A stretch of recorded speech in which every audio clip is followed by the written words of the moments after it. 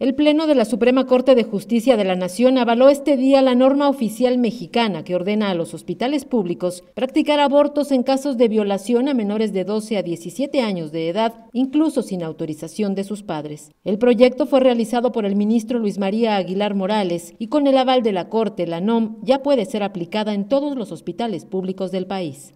Aquí las breves, Vivo Noticias. Docentes de nivel preescolar protestaron por segundo día consecutivo frente a las oficinas de la Secretaría de Educación Pública en la colonia Reforma para exigir 85 claves de directores que aseguran corresponden a diferentes centros educativos de las ocho regiones del estado. Asimismo, egresados de la Universidad Pedagógica Nacional bloquearon la carretera federal 190 a la altura de la calle de Derechos Humanos y Manuel Ruiz para exigir la entrega de sus títulos profesionales.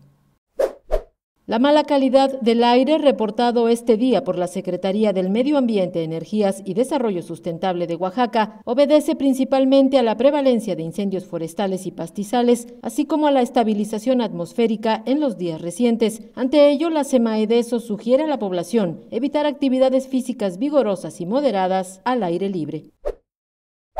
La Fiscalía General del Estado de Guanajuato informó que ocho hombres y tres mujeres murieron rafagueados por un comando la noche de este lunes en un hotel y dos bares contiguos en la colonia Valle Hermoso de Celaya, Guanajuato, en donde se localizaron varias cartulinas con mensajes de un grupo criminal. Algunas de las mujeres fallecidas trabajaban en los establecimientos y otras eran clientas.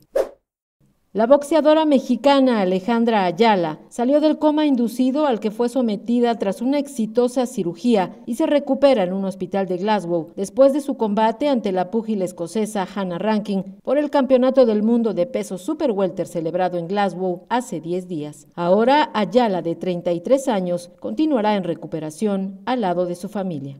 Hasta aquí las breves, Vivo Noticias.